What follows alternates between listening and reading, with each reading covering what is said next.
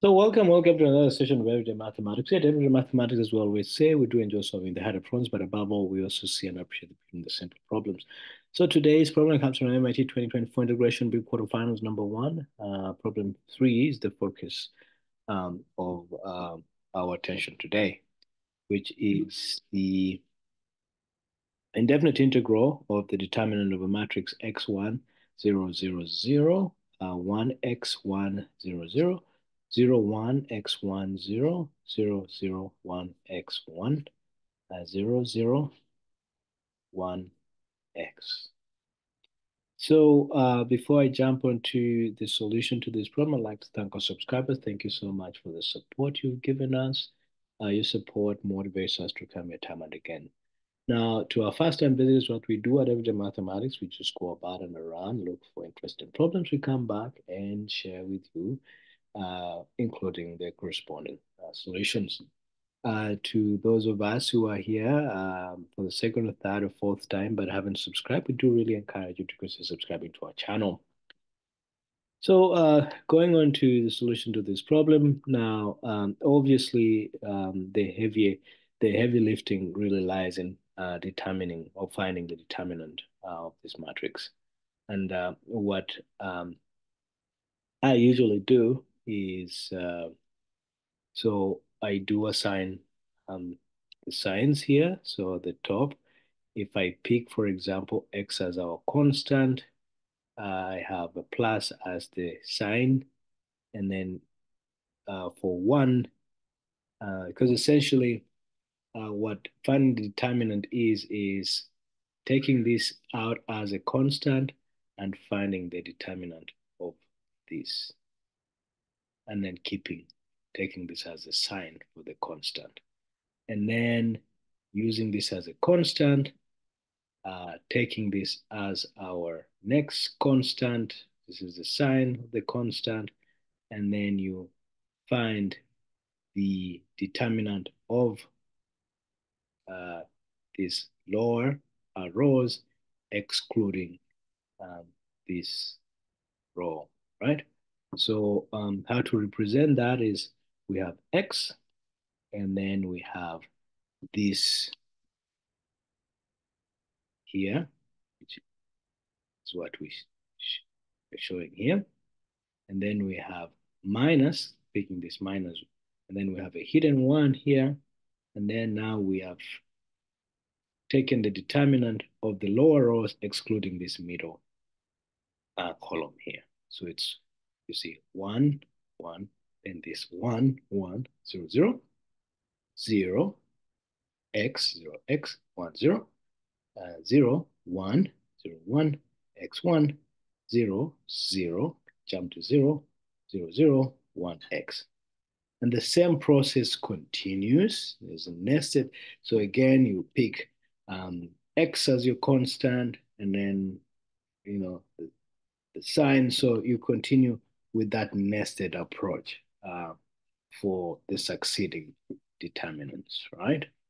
Um, so what we've done here is we pulled out the x and then now taking this x here plus x and then the determinant of this minus one and the determinant of this lower rows excluding this. And this is what we see here.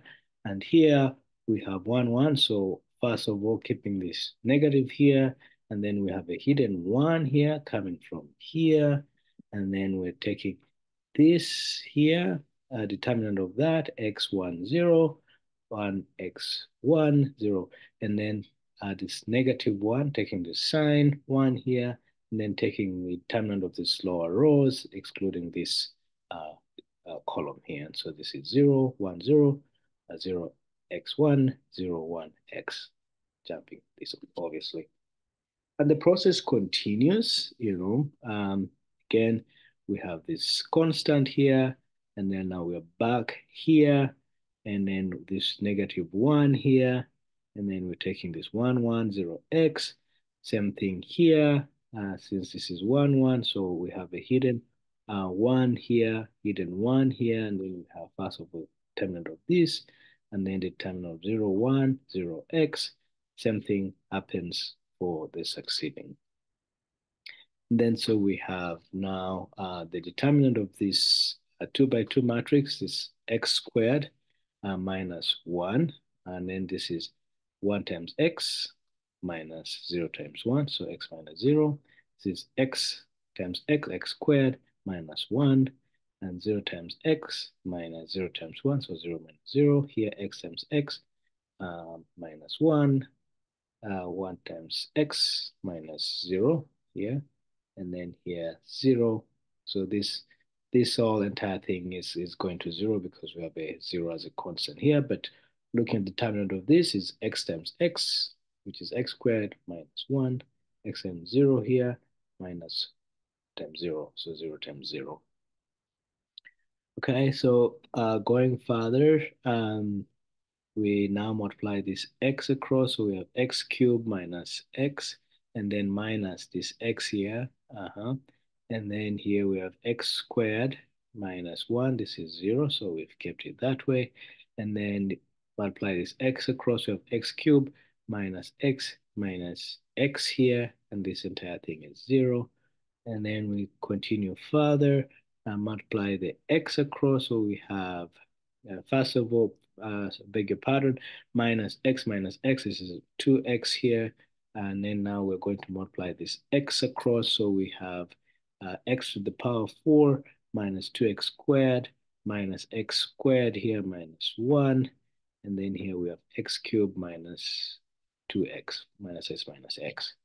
Then the final x goes in. So we have x to the power 5 and this 2x squared minus x squared is 3x squared times this x, this becomes minus 3x cubed. And then we have uh, plus minus minus plus 1 here times x, we have plus x.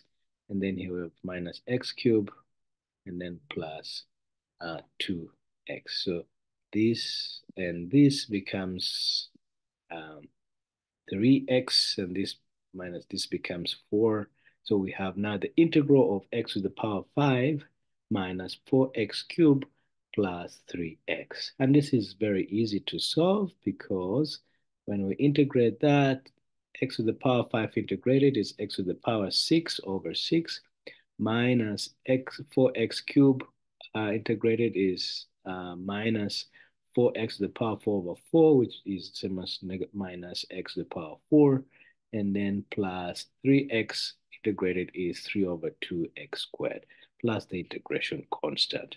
And this is the answer for this, uh, obviously initially uh, visibly challenging problem, uh, but when you do your due diligence, uh, it's supposed to boil down to a very simple expression.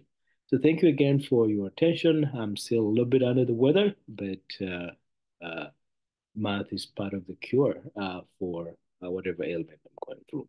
Thank you. Until next time, à tout à l'heure, à la prochaine fois.